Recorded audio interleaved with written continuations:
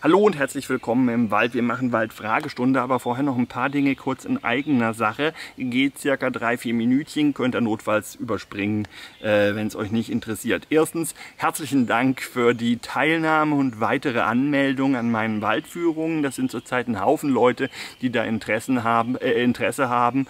Ähm, auch einige bisschen speziellere Wünsche dabei. Alles sehr gerne, alles wunderbar. Freut freue ich mich sehr und genieße die Gelegenheit, jetzt auch mal wieder mit Leuten in den Wald zu kommen, nachdem man ja doch lange Zeit größtenteils nur Kontakt mit der eigenen Frau hatte. Nicht, dass das schlecht wäre, aber ja, ihr wisst, was ich meine. Ähm, zweitens, Zweitens, meine öffentlichen Führungen, äh, also Gruppenführungen in Kalf, die gehen eine Stunde länger als ursprünglich konzipiert. Wer also dachte, oh, fünf Stunden, das klingt aber super lang, das ist mir zu lang, da will ich nicht mit. Es sind sechs. ähm, möglicherweise auch ein Hauch, ein Hauch mehr, je nachdem, wie viele Fragen gestellt werden. Aber ja, ich habe mich da ein bisschen verkalkuliert. Äh, die Strecke ist für die meisten Leute, die nicht sehr viel Geländeerfahrung haben, dann doch ein bisschen schwieriger zu bewältigen. Damit ist das Lauftempo etwas kürzer und äh, etwas, etwas langsamer und über die Gesamtstrecke zieht sich das dann doch so weit in die Länge und ich muss dann auch bergauf ähm, hier und da noch ein extra Päuslein einlegen, beziehungsweise noch eine extra Sache an dem Ort erklären.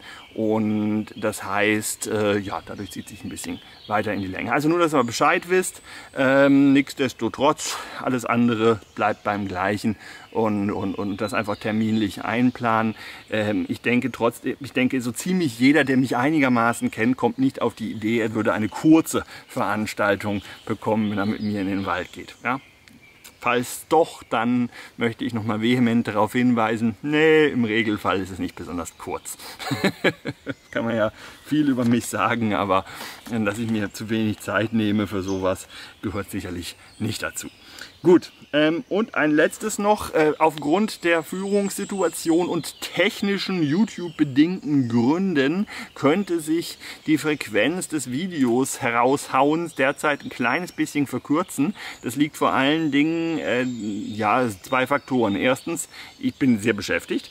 Zweitens, ähm, ich beziehungsweise YouTube demonetarisiert derzeit, also der, der, der olle Algorithmus, der dafür zuständig ist, zu sagen, ob dann ein Video jetzt werbefreundlich oder nicht werbefreundlich ist, der hat sich jetzt irgendwie auf mich eingeschossen und sagt immer, ist nicht werbefreundlich. Nein, nein, da hast du ganz böse Sachen erzählt in deinem Video, was völliger Käse ist.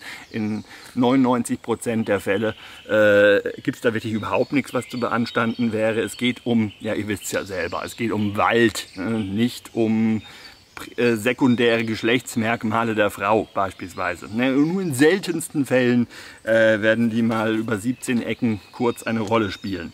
Und trotzdem hat der sich jetzt auf mich eingeschossen und ich muss dann jedes Mal manuelle Überprüfung, ob das Video denn nicht doch vielleicht eventuell werbetauglich ist, ähm, beantragen. Das dauert bis zu eine Woche und dadurch verzögert sich der ganze Kram ein bisschen nach hinten.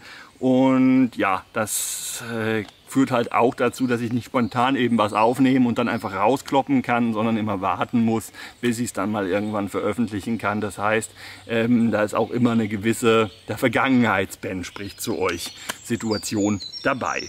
So, habe ich sonst noch was? Ne, das war's. Das waren die allgemeinen Informationen zu Beginn in tatsächlich drei bis vier Minuten. Ha!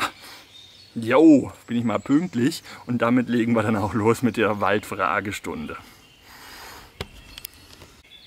So, und damit kommen wir zum ersten Thema. Das ist dann ähm, Karateforst, flüssig und die, das Battle zwischen Svenja und Julia. Svenja und Julia, das sind unsere jeweiligen Ministerinnen für Umwelt und für äh, unter anderem Forst und Landwirtschaft und Verbraucherschutz und was er sonst noch alles macht die gute Julia. So genau weiß keiner, ich kann mir auch nie merken, wie ihr Ministerium eigentlich heißt. Es hat so einen Rattenschwanz von Namen, egal. Ähm, jedenfalls, die beiden sind sich etwas uneins oder deren Ministerien hinsichtlich der Frage, ob es denn jetzt nun eine gute oder eine schlechte Sache gewesen ist, Karateforst flüssig, insbesondere im, im Rahmen der Bekämpfung der Borkenkäfer, äh, ja, Epidemie, kann man es denke ich schon nennen, ähm, im Wald durch eben die ausgelöst vor allem durch viel Fichte, die rumsteht und zweitens durch die Dürre von 2018 und 2019. Ähm, ob es da eben eine gute Idee gewesen ist, Karateforst flüssig zur Bekämpfung dieser Borkenkäferepidemie einzusetzen oder nicht, beziehungsweise wie viel man denn davon nun hätte einsetzen dürfen. Außerdem geht es noch vor allen Dingen darum, dass Karateforst flüssig als Mittelchen ähm, das zum Einsatz gekommen ist, noch nicht abschließend hundertprozentig wissenschaftlich untersucht ist, welche Spät- und Langzeit- und Kollateralschäden sozusagen durch die Anwendung von Karateforst auftreten können. Das wird jetzt von Seiten der Julia als äh, etwas übertrieben und da kann man mal ein bisschen drauf verzichten. Und es ist ja nicht so, dass das Zeug überhaupt nicht geprüft und gar nicht zugelassen wäre. Und dass es jetzt nicht dringend erforderlich ist, bevor man das jetzt einsetzt, noch sieben Millionen Studien anfertigen zu lassen. So in diese Richtung wird da argumentiert, ähm, weil ja Notfall äh, und Not am Manne ist von Seiten der Julia. Ne? Und von Seiten der Svenja kommt, dass das eben unverantwortlich sei, ein äh, Kontaktinsektizid einzusetzen, wenn man nicht exakt weiß, was denn eigentlich die Folgen von dessen Einsatz, auch die Spät- und Langzeitfolgen von dessen Einsatz genau sind. So. Und die Zunahme vor allen Dingen vom Einsatz von Karate Forst hat eben das, äh, die, die Svenja und Svenja ihre Untergebene auf den Plan gerufen, nämlich 2013 wurde in Niedersachsen wohlgemerkt, Allzahlen Niedersachsen, ähm, 3% des geschlagenen Holzes behandelt mit Pflanzenschutzmitteln. Und 2019 waren es schon 41 Prozent des geschlagenen Holzes. Das ist zugegebenermaßen ein enormer Anstieg und äh, mal abgesehen vom prozentualen Anteil ist es auch ein ganz enormer Massenanstieg, weil ja viel mehr geschlagenes Holz 2019 angefallen ist als 2013. Man darf also von einer ja, massiven Zunahme, das muss man schon wirklich der Fairness halber so sagen, vom Einsatz von Karate Force flüssig ähm, eben entsprechend ausgehen. So. Und worüber wir uns jetzt unterhalten müssen, beziehungsweise mein Statement dazu äh, vorweg, heißt so ein bisschen erstmal locker bleiben. Äh, grundsätzlich ist es ja richtig, dass man hochgradig vorsichtig sein muss, wenn man im Wald mit ähm, Schädlingsbekämpfungsmitteln, Pflanzenschutzmitteln oder wie auch immer man das Zeug jeweils nennen möchte, arbeitet. Und man ist da im Wald auch immer hochgradig vorsichtig. Es muss fast immer eine entsprechende Genehmigung vorliegen, dass man überhaupt was einsetzen darf. In seltenen Ausnahmefällen geht es auch so, es gibt enorme Hürden, das was eingesetzt werden darf. Und es wird auch de facto tatsächlich äh, deutschlandweit nur ganz, ganz selten mal was eingesetzt und nur dann, wenn wirklich um es mal deutlich zu sagen, die Kacke am Dampfen ist. Das war natürlich auch 2019 der Fall und zwar massiv. Und äh, ich hatte es schon mal in irgendeinem anderen Video erwähnt, da war die Situation wirklich so hoffnungslos und alle derartig am Verzweifeln, dass man es einfach auch aus menschlichen Gründen, weil irgendwann dann es nicht mehr, nicht mehr möglich ist, wegen Personal, wegen fehlender Technik, wegen Arbeitszeit. Ne? Irgendwie, der Tag hat halt nun mal 24 Stunden und ein Teil davon ist dunkel. Ähm, da ging es nicht mehr anders mit anderen Möglichkeiten, äh, die weitere Ausbreitung des Käfers zu bekämpfen, als eben mit der chemischen Keule. Und das ist menschlich und fachlich äh, gar keine Frage, dass je nach Bundesland, je nachdem wie intensiv man da betroffen war und je nachdem wie die Personallage kleinräumig dann gewesen ist, einfach nichts anderes übrig blieb, als da auch dann mal auf ähm, Karate zurückzugreifen. Usch. ähm, ja, so. Das grob. Jetzt, was macht Karateforst? Karateforst ist ein Kontakt und ja, total will ich nicht sagen, aber zumindest ein äh, multiwirksames Kontaktinsektizid. Das heißt, jetzt sprühst du auf eine Oberfläche. An dieser Oberfläche bleibt es haften bzw. dringt leicht ein, wenn die Oberfläche eben geeignet ist, Flüssigkeiten aufzunehmen. Zum Beispiel eine trockene äh, Fichtenrinde, da geht, dringt das auch ein wenig ein in die Rinde und dann bleibt es da haften. So, und wenn sich jetzt deswegen Kontaktinsektizid ein Borkenkäfer beispielsweise auf die Fichtenrinde, die man mit Karateforst flüssig behandelt hat, draufsetzt, ja, es rumpelt ein bisschen im Hintergrund. Bin hier, bin hier dürfte hier ziemlich safe sein, wo ich sitze. Ähm, jedenfalls, wenn man da sich jetzt eben ein Borkenkäfer draufsetzt, dann fällt er plus minus ziemlich schnell tot um. Insbesondere wenn er versucht, sich dann auch noch in diese Karateforst flüssig behandelte Rinde reinzubohren, keine Chance, dann ist der tot. Äh, ja, und das ist der Sinn und Zweck des Ganzen. Kann man auch anwenden, indem man ähm, nicht Rinden, sondern Blätter behandelt, um gegen einen bestimmten anderen Käfer, der aber jetzt in den letzten Jahren keine größere Rolle gespielt hat, ähm, vorzugehen. Kann man also auch junge Bäum Baumbestände, die einzelnen Pflanzen besprühen, wenn es unbedingt sein muss. Das ist schon eine Maßnahme, die deutlich kritischer zu betrachten ist als die Behandlung von Stämmen. Ähm, und man kann auch Jungpflanzen vorm Pflanzen kurz einmal äh, kopfüber sozusagen in die Karateforst Flüssigdose reintunken und sie dann pflanzen. Äh, dann sind sie halt auch für die ersten Lebenswochen, äh, die sie dann im Wald stehen, erstmal gegen diverse Fressfeinde geschützt und haben eine gute Chance, dann auch vernünftig hochzuwachsen, weil sie dann halt eben einen gewissen Wachstumsbonus haben. Äh, all sowas hat in letzter Zeit keine größere Rolle gespielt, sondern die Anwendungen, die wir uns eben speziell angucken und die auch 2019 fast ausschließlich zum Einsatz gekommen ist, ist eben die Behandlung von Rinde bzw. von liegendem Holz, nämlich ähm, die Strategie zur Borkenkäferbekämpfung, da haben wir auch schon häufig drüber gesprochen, aber ich möchte es doch noch mal kurz aufgreifen, damit wir alle wissen, wovon wir reden, ist, du findest irgendwo im Wald einen, einen Käferbaum, wo der Käfer drin ist. Der Käfer ist aber noch nicht rausgeflogen. Ja? Also der Käfer breitet sich jetzt im Baum aus, um dann äh, als ausgewachsener Käfer, nachdem er sämtliche Larvenstadien durchlaufen hat, sich rauszubuchen, davon zu fliegen und alle anderen Bäume in der Umgebung schlimmstenfalls auch noch zu befallen. Das möchte man verhindern, also schneidet man den Baum weg, zieht ihn aus dem Wald, legt ihn an die Waldstraße. Gut, jetzt ist er zwar nicht mehr mitten im Bestand, aber mit, äh, an der Waldstraße liegend halt immer noch viel zu nah dran an den Bäumen, denen der Käfer gefährlich werden könnte. Jetzt gibt es verschiedene Möglichkeiten, wie man verhindert, dass der Käfer aus dem Baum ausfliegt und den Rest vom Wald infiziert. Möglichkeit 1, man fährt den Baum sofort aus dem Wald raus, bringt ihn irgendwo weit weg, wo es keine Fichten gibt, die infiziert werden können. Problem gelöst. Ja? Möglichkeit 2, man entrindet vor Ort. Das heißt, du schabst äh, schlimmstenfalls nach wie vor händisch mit einer, mit einer Klinge, die an einem Stock festgemacht ist und aussieht wie so ein Schrubber, als würdest du mit einem, einem ja, messerhaltigen Messerschrubber den Stamm entlang schrubben, äh, musst du dem mit dem Schäleisen, nennt sich das Ding, äh, den Stamm komplett entrinden mit Muskelkraft. Das ist schweineanstrengend ähm, und kann man quasi nicht bezahlen heutzutage. Natürlich kann man auch maschinell entrinden und viele Leute denken, das macht doch der Harvester. Der Harvester ist ja bekanntlich diese große Maschine, die Fichten unten absägt, die Äste absägt und das Ding so schön klein, kleine Stücke zerlegt und dann gemütlich an die Waldstraße legt, ähm, sofern er nah genug da noch dran ist. Ja?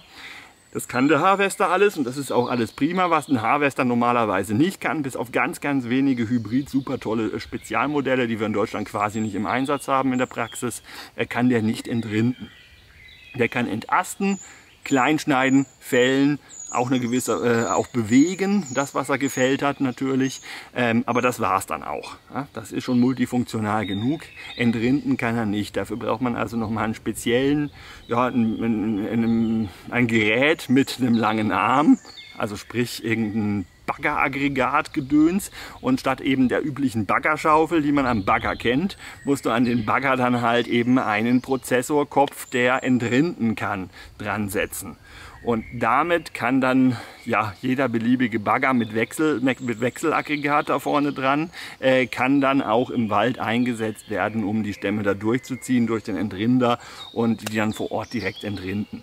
Alternativen gibt es auch noch, dass dann irgendwelche äh, stinknormalen Kräne zum Einsatz kommen und das Ganze in eine Entrindungsmaschine reinschieben, also so ein rundes Loch, in dem halt ein Entrindungsmesser läuft. Und dann schiebst du den Stamm da durch, eben mit dem Greifarm von irgendeinem Kran Beispielsweise, ja, äh, ich bin da gerade nicht ganz auf dem aktuellsten Stand der Entrindungstechnik, aber auf sowas läuft es hinaus. Das heißt, man braucht in jedem Fall für effizientes Entrinden vor Ort und das hätte man äh, 2019 überall gebraucht, überall, ja, in Gesamtdeutschland, in so ziemlich jedem Wald hätte man am liebsten eine Entrindungsmaschine stehen gehabt. Das gibt's nicht. Ja, es ist einfach nicht die, äh, das Material ist einfach nicht vorhanden. So viele Entrindungsmaschinen gibt es gar nicht, die man da hätte einsetzen können. Außerdem hätte kein Mensch bezahlen können, dass überall eine rumsteht. Ähm, dementsprechend ist das einfach unmöglich gewesen, Entrinden im größeren Umst äh, Umfang durchzuführen. Aber wenn dann doch entrindet ist, dann kann sich der Käfer quasi unter der Rinde nicht mehr verstecken und er trocknet schlicht und ergreifend aus. Er braucht dieses feuchte Klima in der Rinde, äh, um seinen Wasserhaushalt aufrecht zu erhalten und ohne Rinde, abgesehen davon, dass er von jedem anderen, der Interesse am Borkenkäfer hat, gefressen werden kann. Das sind dann potenziell sehr, sehr viele. Wenn der völlig ungeschützt und ganz einfach zu kriegen ist, äh, dann ist das gar kein Problem, dass er dann quasi äh, schutzlos den Elementen und den Fressfeinden ausgeliefert ist. Und sobald der Baum entrindet ist, fliegt da auch kein Käfer mehr raus. Es sei denn, es ist vielleicht ein oder zwei Tage vor dem Datum, wo er sowieso rausgeflogen wäre. Gut, also entrinden wirtschaftlich gesehen meistens keine Option. Was kann man sonst noch machen? Ja, man kann neben Entrinden Holz direkt abfahren, auch noch Holz wenigstens so weit weg von den nächsten Fichten lagern, dass da nach Möglichkeit 500 Meter Entfernung zur nächsten Fichte dazwischen liegen, weil der Borkenkäfer, wenn er dann aus dem Stamm kommt und losfliegt, selten weiter als 500 Meter kommt. Ja?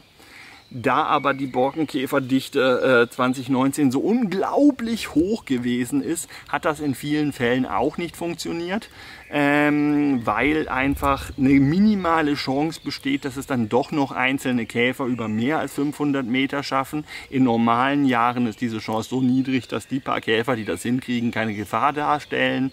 Aber selbst wenn es nur 0,1 Prozent aller Käfer schaffen, 0,1 Prozent von, keine Ahnung, 1000 Billionen Käfern äh, pro Hektar oder wie viele auch immer das gewesen sein müssen, äh, zu Hochzeiten und zu Maximalzeiten Zeiten, als da wirklich alles unterwegs war, das reicht immer noch. Ja? Also alles, was wir bisher mal so über den Käfer gelernt haben, gilt ab einer gewissen Menge von Käfer nicht mehr. Das waren einfach so unendlich viele, dass da wirklich nichts mehr ging. Und darum hat also auch diese Lagerung weit weg von der nächsten Fichte in vielen Fällen entweder nicht geholfen oder war einfach nicht möglich, weil man auch gar keinen Platz hatte, der 500 Meter von der nächsten Fichte entfernt ist. Wenn du halt einen fichtendominierten Wald hast, hast du überall Fichte, dann kannst du das Zeug auch nicht von den Fichten weg jedenfalls nicht einfach von den Fichten weglagern. Ja. Und auch Holzlagerplätze, die dann außerhalb des Waldes liegen, die müssen ja auch erstmal 500 Meter vom Wald weg sein. Und je nachdem, ob man jetzt zum Beispiel in irgendeinem engen Tal ist, da gibt es keinen einzigen Bereich, das gesamte Tal lang nicht, äh, der 500 Meter vom nächsten Wald weg wäre. Also es gibt viele Beispiele für Regionen von, in Deutschland, in denen ein, ein, ein käfergeschütztes Holzlager nahezu unmöglich ist. So, und wenn man es nicht käufergeschützt äh, im Sinne von durch Abstand käfergeschützt lagern kann, dann kann man es nur noch käfergeschützt lagern, indem man irgendwas anderes macht, das verhindert, dass da der Käfer reingeht ins Holz. Und da gibt es jetzt noch zwei gängige Möglichkeiten, möglich neben Rind, Ent, äh, Entrinden. Ne? Wasser drüber, also Nasslager. Das kennen wir vor allen Dingen aus Zeiten von großen Stürmen, das dann gerne mal entlang der Flüsse in irgendwelchen Gebirgstälern, Kinzig, Murg, zwei Beispiele bei mir aus dem Schwarzwald, am Rhein hat man sowas auch schon gesehen, äh, große Holznasslager angelegt werden, wo dann riesige Mengen von Stämmen rumliegen und die werden alle mit so kleinen Sprenkleranlagen die ganze Zeit bewässert. Das war auch schwierig 2019, weil schlicht und ergreifend gar nicht genügend Wasser da gewesen ist und die Menge, die man zur Bewässerung gebraucht hätte, bei vielen kleineren Bachtälern und Flusstälern, hätte den gesamten Fluss trockengelegt auf die Dauer. Deswegen war Bewässerung in diesem Umfang auch nicht möglich. Und außerdem hat man nicht überall einen Fluss, der groß genug wäre, um die Wassermenge zum Bewässern zur Verfügung zu stellen. So, und dann bringt uns das jetzt nach langer Rede doch wieder zurück zu Karateforst. Denn wenn du Karateforst drüber kippst, hat sich all deine Probleme, haben sich deine Probleme gelöst, sozusagen. Ne?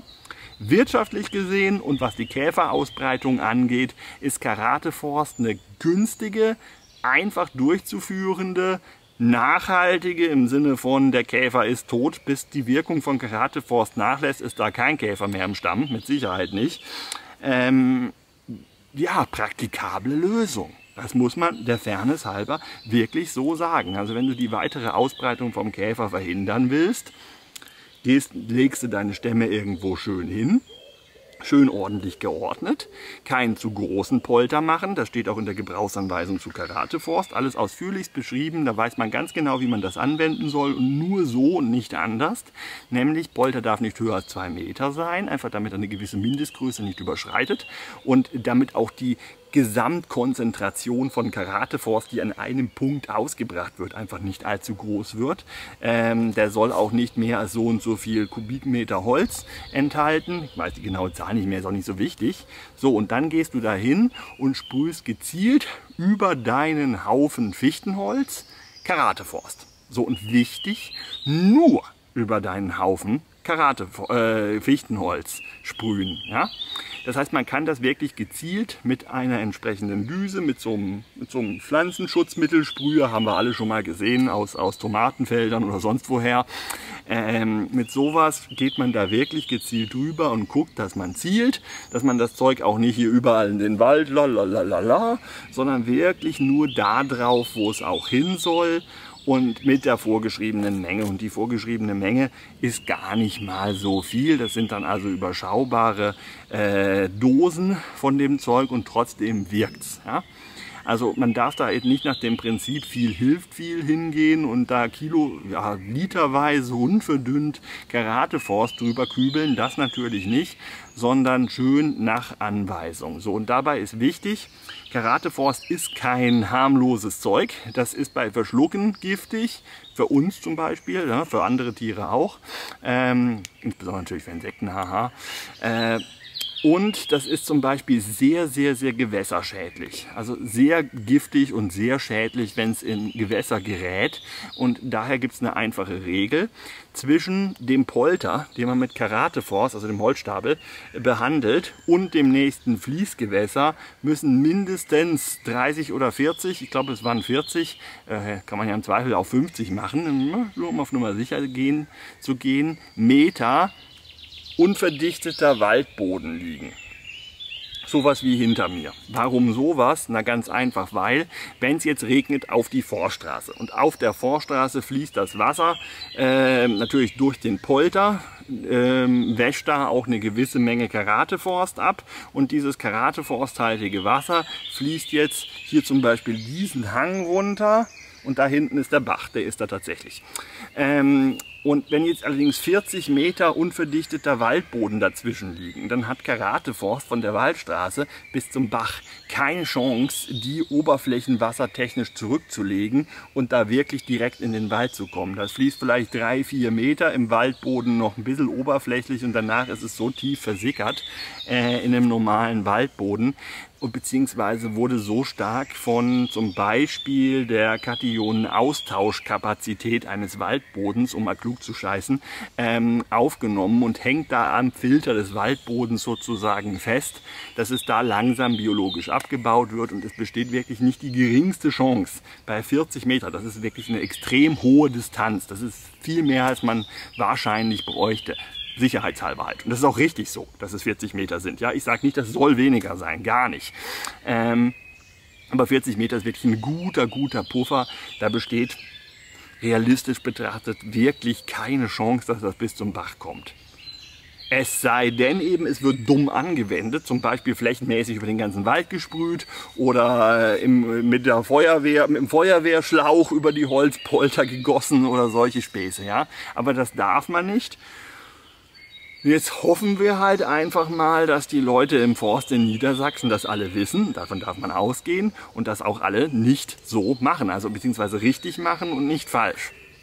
Und da gehe ich schwer davon aus, dass das dann auch tatsächlich so ist. So, in diesem Fall und unter diesen Bedingungen und in Anbetracht der dringenden Notwendigkeit ähm, was gegen den Borkenkäfer zu tun, kann ich jetzt beim besten Willen mich der Kritik vom Bundesumweltamt nicht anschließen und kann nur sagen, nur 41 Prozent des geschlagenen Holzes mussten in Niedersachsen mit Karateforst behandelt werden. Ja, das hätte auch noch schlimmer kommen können. Und ja, es gibt Bundesländer, die haben erheblich geringer, die haben komplett auf äh, Insektizide verzichtet und trotzdem irgendwie ihre Fichtenholzflächen so halbwegs in den Griff bekommen. Aber da vergleichen wir ein bisschen Äpfel mit Birnen. Die Bundesländer, die da nämlich vollständig darauf verzichtet haben, sind zum Beispiel Rheinland-Pfalz. Rheinland-Pfalz hatte schon vor dem großen Fichtensterben jetzt durch den Borkenkäfer eine bundesweit gesehen super geringe Fichtenfläche. Das heißt, die Menge an Fichten-Schadholz, die denen anfallen konnte und die Menge an möglichen Borkenkäfer, der in Rheinland-Pfalz unterwegs sein konnte, war von vornherein schon eine ganz, ganz andere als beispielsweise in Niedersachsen mit großen, riesigen, zum Teil äh, zusammenhängenden äh, Fichtenflächen. Ja? Und Niedersachsen beinhaltet zum Beispiel auch die Gebiete um den Brocken, wo die Katastrophe wirklich ganz gigantisch äh, gewesen ist und das Fichtensterben enorme Ausmaße angenommen hat. Der eine oder andere kann uns in den Kommentaren sicherlich was davon berichten, wenn er Lust hat. Und ja, also so gesehen, äh, ich bin da wirklich, äh, nicht weil ich sie so toll finde, aber in diesem Fall wirklich auf Seite der Julia, wenn es um den Julia versus Svenja äh, Streit geht. Denn da ist schon die Notwendigkeit zur Ausbringung gegeben gewesen. Und zwar so sehr, dass man dann auch wirklich, auch wenn ich das ungern sage, akzeptieren kann, dass die ähm, Forschungslage zu Langzeitschäden von Karateforst nicht besonders gut ist. Denn, was wir uns jetzt folgendes noch, auch noch überlegen müssen, was man generell wissen muss zu Insektiziden, insbesondere wenn sie nur eine begrenzte Wirksamkeit haben, ja, die bringst du punktuell und nochmal, punktuell bringst du die aus. So, jeder, der sich jetzt auf deinen Stapel Holz setzt, stirbt als Käfer. Ja? Das sind vor allen Dingen die Borkenkäfer, das sind aber eben auch nützliche Käfer und äh, vielleicht sogar unter Schutz stehende und vielleicht sogar seltene Käfer, die sich dann punktuell mal auf diesen Holzstapel setzen und dann tatsächlich sterben. Ist das ein Verlust? Ja. Ist das schade? Ja, absolut. Will man, kann man das vermeiden? Nee, ne, nicht wirklich. Und wie schlimm ist es denn jetzt nun? Wenn das mal passiert, beziehungsweise gehen wir mal von einem ganz schlimmen Szenario aus, dass 50 Meter im Umkreis von so einem behandelten Karateforst-Holzstapel äh, tatsächlich die potenziell durch Karateforst zu killende Insektenfauna massiv zurückgeht, weil sich jeder, der dann Gegend unterwegs ist und irgendwann mal auf den Karateforststapel gesetzt hat, innerhalb der Wirkungszeit. Das heißt, die Population der Insekten in der näheren Umgebung wird massiv reduziert. Jetzt lässt die Wirkung von Karateforst nach. Wir gehen davon aus, dass die Fichten im weiteren Umkreis jetzt inzwischen alle weg sind. Das heißt, es wird keine weitere Notwendigkeit von Karateforst geben. Und jetzt hat der Wald viele, viele Jahre, wahrscheinlich eher Jahrzehnte Zeit, um eben auf diesen 50 Metern im, im, im Umkreis von eben diesem karateforstisierten Holzstapel die Insektenfauna äh, sich wieder erholen zu lassen. Was spricht dagegen, dass die das tut? Nix. Sind da irgendwelche Langzeitfolgen rein von der Logik her und von den bisherigen Erfahrungen mit Insektiziden zu erwarten? Nö. So, und jetzt mag der eine oder andere vielleicht auf die Idee kommen, ja, aber Glyphosat killt ja auch langfristig die Bienen und Glyphosat beispielsweise ist ja schuld am gesamten Insektensterben, also zumindest Mitschuld darf man schon so sagen.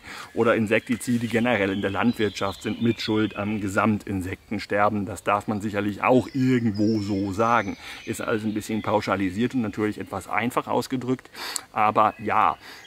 Und selbstverständlich verbessert es nicht die Lage der Insekten, wenn wir jetzt im Wald, selbst wenn es nur punktuell ist, auch noch mal einzelne Polter hinstellen und diese Polter dann eben äh, mit, mit, mit, mit Karateforst behandeln.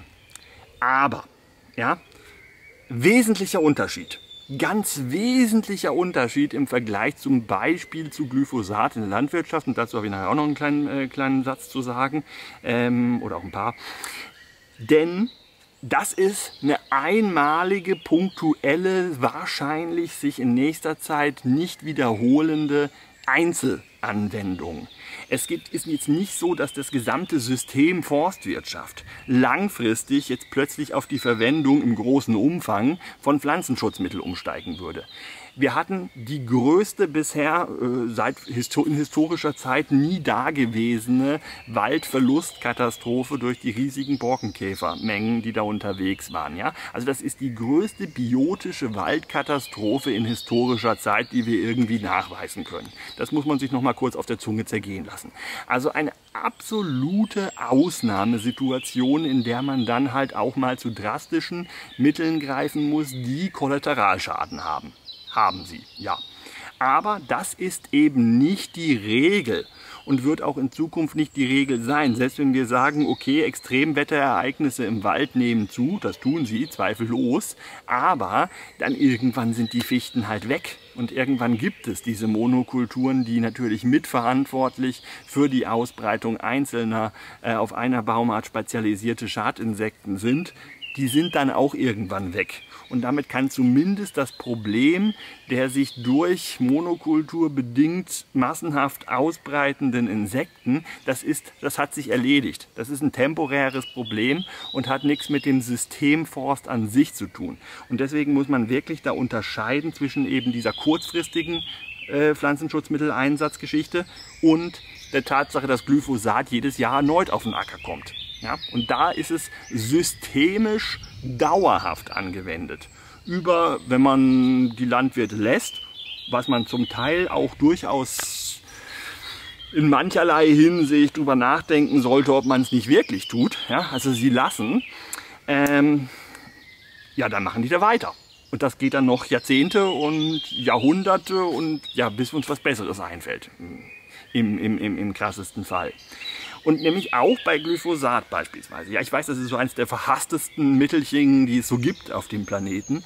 Aber auch Glyphosat hat, und jetzt mache ich mich ganz unbeliebt, bei richtiger, wohldosierter, gut überlegter und fachgemäßer Anwendung hat das Zeug eine gewisse Berechtigung und kann extrem hilfreich sein. Mhm.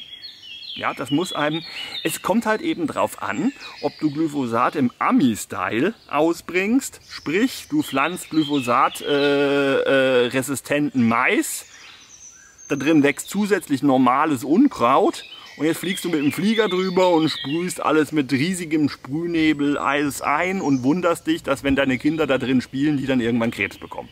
Ja, das ist die eine Variante. Die andere Variante, sprich der fachgemäße Einsatz im Rahmen von moderner Landwirtschaft. Moderne Landwirtschaft heißt nicht zwingend immer gleich Ausbeutung und Massenlandwirtschaft, sondern auch, das hat man mal eine Zeit lang drüber nachgedacht inzwischen.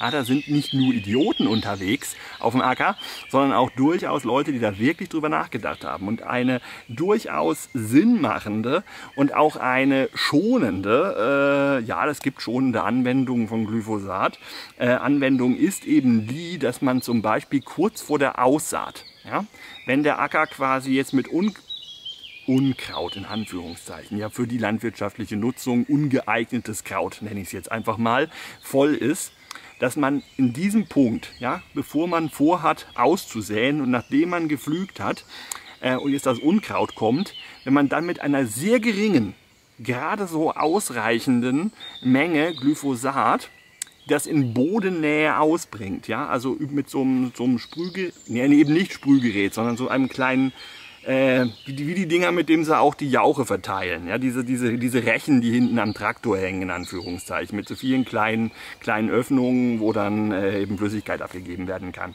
Wenn du mit sowas dann über den Acker fährst und eine winzige Menge, vergleichsweise winzige Menge verglichen mit dem, was die Amis machen, Glyphosat ausbringst, um sämtliches Unkraut kurz zu killen, und danach dann regulär deine Nutzpflanze pflanzt. Deine normale Nutzpflanze, nicht irgendwas gentechnisch verändert ist, damit es gegen Glyphosat immun ist. Weil das bisschen Glyphosat, was du eingesetzt hast, ist nämlich schon wieder weg, beziehungsweise im Boden so gebunden, dass es keinen Schaden mehr anrichten kann und wird irgendwann tatsächlich auch, das dauert zwar ein Weilchen, aber in geringer Menge geht's, ähm, biologisch abgebaut. Ja?